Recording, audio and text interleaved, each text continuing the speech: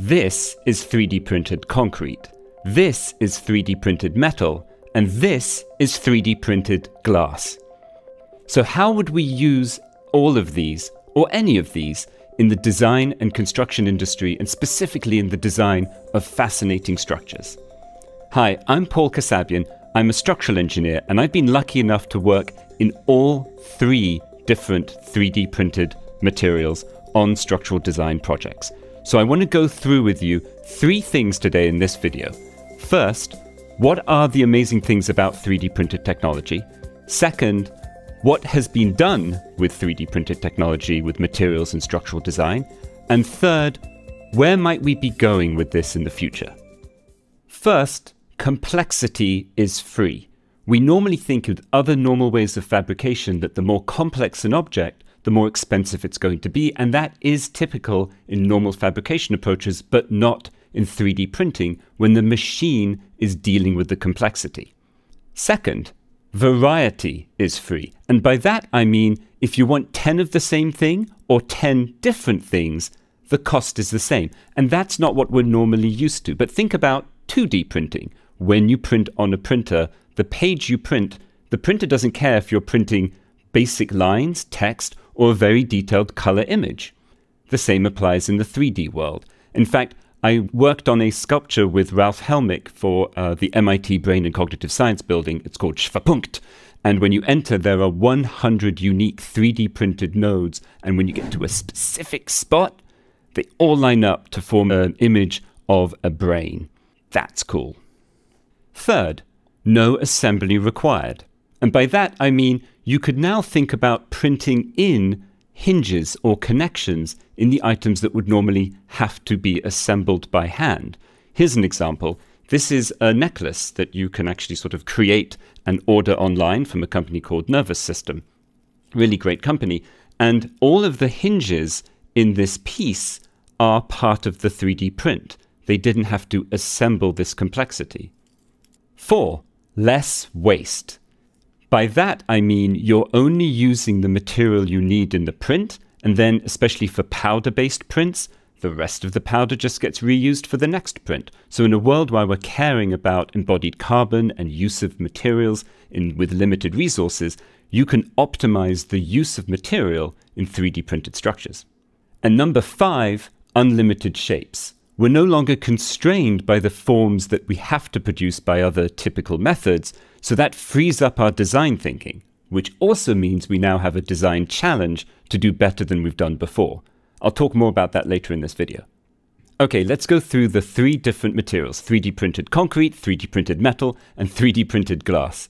First up, 3D printed concrete. And there's been a lot of this around, specifically as relates to residential construction, and also theme parks and benches and interesting forms. A lot of startup companies are out here in the space right now. Icon, Madco 3D, Picus, Apis Cor, great firms all trying to do better in the design and construction industry that we're in. And really, let's hope that things develop and improve because you've got to give something a go to make things better. There's also some academic pursuits. Philippe Block over at ETH in Zurich is creating some optimized bridges and optimized slabs for floor slabs of building that use minimum weight, topologically optimized forms. They're fascinating, they're lightweight, they're lovely to look at. This is an exciting area. And I've also had the chance to work on some 3D printed concrete structures. We're working jointly with UPenn and Sika, and they have a mix of concrete, a form that we're looking at. You'll see here that this is an optimized form, post stressed concrete beam which has a lot of potential for how we might use a minimum amount of material. The 3D printed concrete material itself that Sika produces, there's actually a part of it just behind me here. So here you can also see them testing it out and the classic people on beam just to prove that it's safe. It really is an amazing structure and starts to make us think about what types of forms might we produce now that we're allowed to think more freely about them.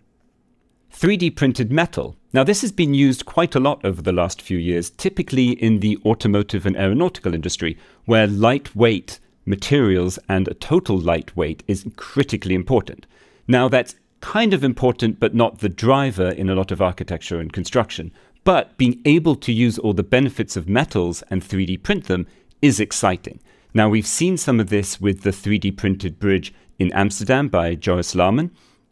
And I've worked on this design project where we had about 100 unique connection items to various types of pieces of glass. So we couldn't use a standard, what's called spider connection that's cast, because that's a singular design as a product. And so we designed a process of figuring out optimized forms for every single unique case, and then had one of the pieces printed right here so that we could test it in our in house lab. Here's something super interesting about this. We designed this thinking it would be stainless steel, and the person who was printing it asked, Why wouldn't you do this out of titanium? And I said, Well, because titanium's more expensive than stainless steel, right? And he went, Not when you 3D print it, because the melting point's lower, which means it uses less energy, quicker to print. That means it's a lower cost. So this is 3D printed titanium. That's cool. It's an optimized form, and therefore the material is distributed on the lines of greater stress. Not only that, in terms of a volumetric form, but this is actually hollow. This piece isn't solid like you would get from a casting, it's hollow. If I was at Apple, I would do something like this and I'd say, This is 1.5 millimeters thin because don't let grammar get in the way of what is actually a cooler way of explaining things. It's one and a half millimeters thick, but still weirdly lightweight and pretty fantastic. We did a technical paper on this, which I'll put a link to in the description below. 3D printed glass. We worked with Neri Oxman when she was at MIT on producing a design and testing in our in house lab this piece broken from the total amount that we tested in our lab of 3D printed glass. There's also that piece just over there. Behind me is also where this piece broke off from. And this allowed us to determine the structural and material properties of this totally unique material because glass is ancient, but 3D printed glass is very much of now. And the process of 3D printing glass gives it very specific properties that we need to know to do safe structural design with. What's fascinating, of course, about 3D printed glass is you can use recycled glass material, you can create a range of different forms, and then the result is with shifting light, this mind blowingly unique result that is truly beautiful. Now, where this is going is going to be pretty exciting. We're doing some follow up physical testing work and structural design with Michael Stern. This is his firm Evenline. And Kaitlyn Becker, who runs a research group and has work on glass properties and design at MIT. So, where are we going from here? Because frankly, 3D printed technology is in its early days, and that's very exciting. And in many ways, the limit to the use of the technology is us. Have a think back to the Iron Bridge in Coalbrookdale in the UK. This was the first bridge made out of metal. Truly an astounding advance with that new material at the time. But what they did was connect the metal using wood joinery techniques because, after all, that's what they knew in terms of joining materials. It took a while for us to develop the ideas of what else might we do with this new material metal and connect it using bolts and welding and rivets as they initially started with. So I think what matters in terms of developing technology is freeing up our mind from where we've been.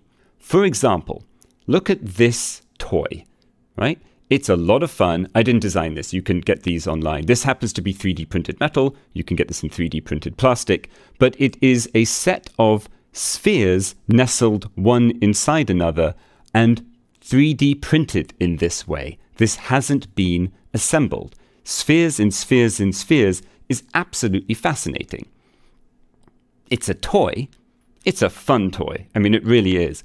Right now, it's a toy. But there's something here when you think about it. There's something here which means let's think about what else we can do with 3D printing in any or all of the materials I've mentioned that would be new. One thought I've had is, you know, let's not think in isolation. We have 3D printing, we also currently have 3D scanning.